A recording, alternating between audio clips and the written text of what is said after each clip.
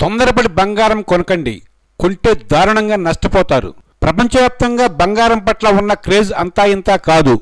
ముఖ్యంగా మన ఇండియాలో అది కూడా మన తెలుగు రాష్ట్రాల్లో ధనికులు పేదవారు అనే తేడా లేకుండా బంగారం అంటే ఎంతగానో మోజుపడతారు. ఎవరి ఆర్థిక స్తోమతనైనా పరిగణనలోకి తీసుకునేటప్పుడు ముందుగా స్థిరాస్తులు ఏమున్నాయని అడుగుతారు.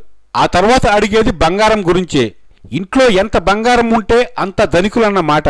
పట్నం పల్లె నగరం అన్న తేడా లేకుండా అన్ని ప్రాంతాల్లోనూ బంగారం అంటే ప్రతి ఒక్కరికి మోజే. ఒకప్పుడు కేవలం మహిళలే బంగారు నగలు ధరించేవారు.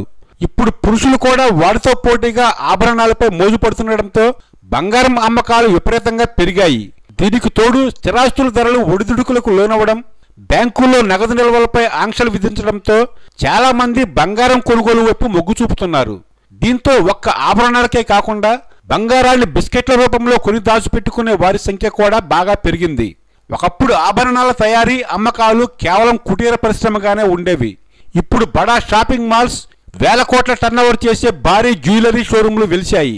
ఒకప్పుడు పేదవాడికి కూడా అందుబాటులో ఉన్న బంగారం ధరలు ఇప్పుడు విపరీతంగా పెరిగాయి. అయితే ఆకాశాన్ని అంటిన బంగారం ధరలు కొద్ది రోజులుగా క్రమేపీ తగ్గుతున్నాయి.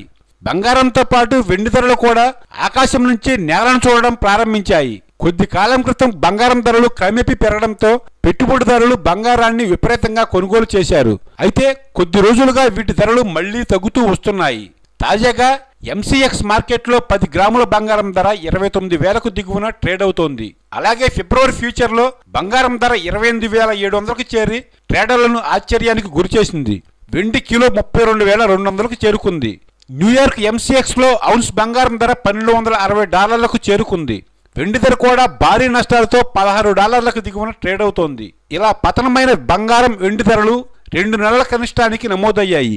ఇక నగర వర్తకులు పరిశ్రమల నుంచి బంగారం వెండికి డిమాండ్ తగ్గడంతో ధరలపై ప్రభావం చూపిందని నిపుణులు అంచనా వేస్తున్నారు.